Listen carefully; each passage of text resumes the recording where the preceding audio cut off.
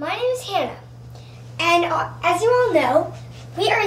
This is our first day using this very new camera, and we're going to be using this camera even more on Thursday. Well, in the car ride to North Carolina, driving. Pretty surprising. Not on an airplane, driving. And one of the good thing about being in a in a car is?